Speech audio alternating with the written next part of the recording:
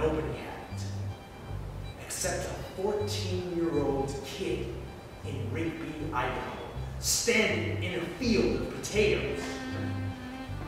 He rode a three-disc plow drawn by a mule, making three parallel lines of the earth at once.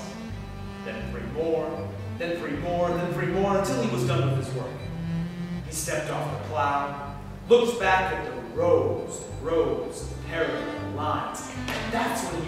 realized the key to the most influential invention in history.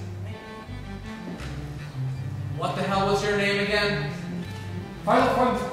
And what do you want?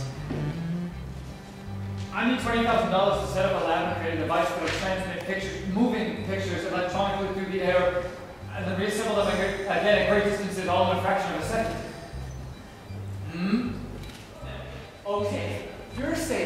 send a photograph from here to there electronically? Again, but uh, that's not what I'm saying. I'm saying I can send a line, moving image from here to there electronically.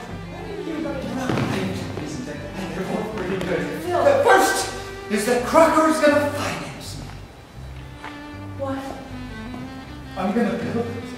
He's gonna finance me. Then he started the current. And it's gonna warm up a second. And the viewing screen filled with an electronic fog.